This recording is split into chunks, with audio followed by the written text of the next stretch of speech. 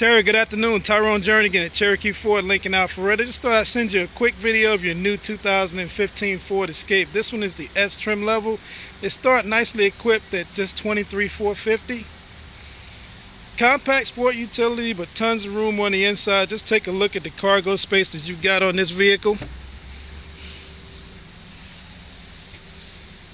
It's really great room on the on the interior of that vehicle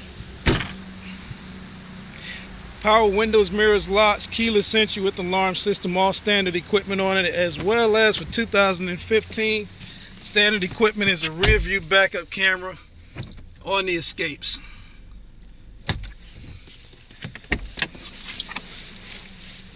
Now, don't you just take a look at the space and room on the inside of this vehicle, Tara. Definitely comfortable seating for five.